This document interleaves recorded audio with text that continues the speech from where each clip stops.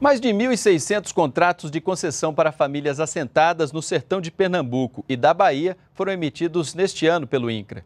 Com isso, os beneficiários da reforma agrária, além do acesso à terra, podem conseguir crédito para habitação, custeio e infraestrutura da área.